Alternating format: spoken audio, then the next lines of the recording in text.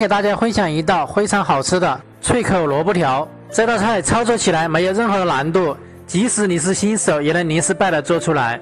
首先我们准备食材，我今天用了四根白萝卜，泡水的小米辣一包，这个是五百克，冰糖二十克，还需要用到白醋、红醋，还有用来增香的香料，香叶四片，八角一个，花椒十克。再来一点搭配颜色的青红辣椒圈，姜一块，蒜四瓣，萝卜先改刀，先切成片，然后再切成条。这个条的大小可以根据自己的喜好来切，条切的越细的话，它泡制的时间就会越短。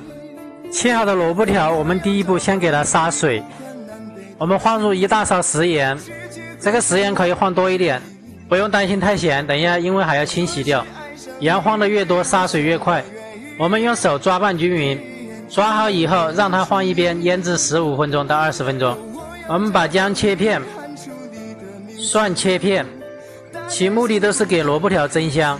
下一步，我们调制泡萝卜条用到的腌制的水，取个大一点的盆，放入姜蒜，倒入冰糖，倒入香料。倒入青红辣椒圈，一包小米辣倒下去。如果喜欢辣味重一点的，可以先把它切碎了再放进去。倒入红醋八十克，白醋六十克，然后加入冷却的白开水，然后放入八克食盐、八克鸡精，用筷子搅拌均匀。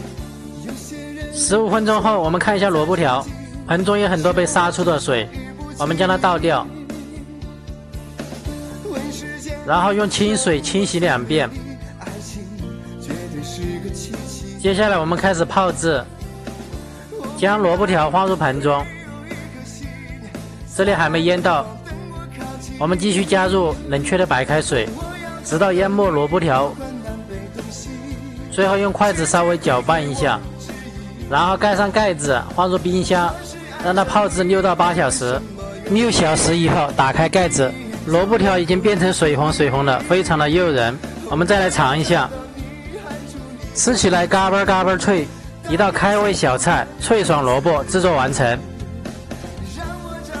如果你喜欢这道菜，请帮忙点赞、关注、转发、收藏，谢谢。